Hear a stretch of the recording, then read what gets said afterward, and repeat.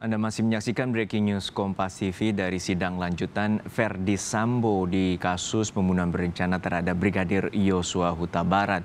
Dalam persidangan kali ini jaksa menghadirkan 11 saksi, namun satu saksi berhalangan hadir dan saat ini majelis hakim tengah menanyakan terhadap tiga saksi yang dihadirkan oleh jaksa.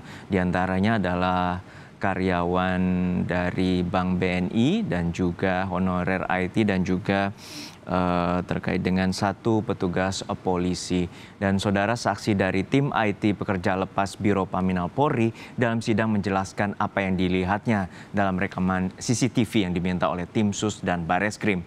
Dalam CCTV terekam para terdakwa Kuat Ma'ruf, Ricky Rizal dan Richard Eliezer tiba di Biro Paminal waktu yang sama dari pukul apa 23.30 sampai pukul 3.30. Waktu yang sama.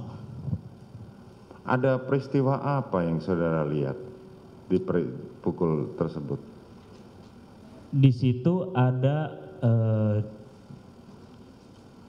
pokoknya mereka minta dari Kombes Agus Nurpatria itu datang, dari Pak Agus Nurpatria datang sampai ada kalau nggak salah dari bapak-bapak ini. Siapa? Ini ada tiga-tiganya pak. Oh ada Kuat Ma'ruf ada, ada Richard Eliezer iya. dan Ricky Wibowo. Betul.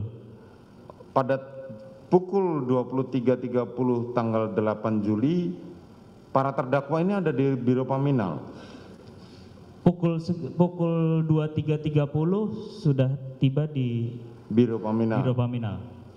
Terus? Uh, lalu di situ ada kejadian kayak memperagakan sesuatu. Saya kurang tahu apa. Oke. Okay. Tapi memperagakan sesuatu. Mereka bertiga ini. Bertiga. Kemudian? Terus ada sekitar dua kali memperagakan yang sama. Oke. Terus? Uh, lalu setelah memperagakan dua dua peragaan itu um, semuanya istirahat bapak di dalam ruangan itu?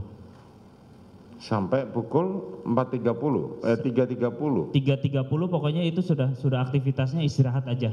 Sudah aktivitasnya sudah istirahat. Iya pak ada peristiwa lain yang di mana selain peragaan mereka bertiga tadi ada peristiwa lain yang terekam dalam NVR tadi?